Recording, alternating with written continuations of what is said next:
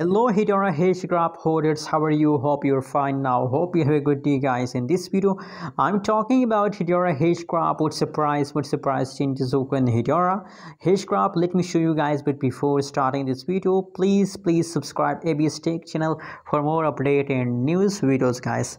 Let's start the video guys and let's go ahead. First of all, if we talk about the right now price of Hedera Hashgraph, so 0.382873 USD dollar, that is right now price of Hedera Hedera Hashgraph and furthermore if we talk about the changes update of Hedera Hashgraph so now positive positive 0.22 percent changes occur in Hedera same like that last one week chain is also going negative 4.95 percent. Last one week chain is also positive 25.97 percent guys. So guys now i recommend for all of you to just just hold for a long time guys because in the right now situation a lot of coin going positive. So maybe maybe you guys hit a price dump for short time but that's not mean that you decide to sell. No guys never decide to sell. Just hold. You have to just hold guys.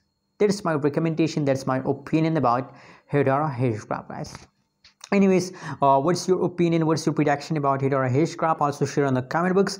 And guys don't forget to subscribe our channel for more update and news videos guys. Thanks for watching. Subscribe now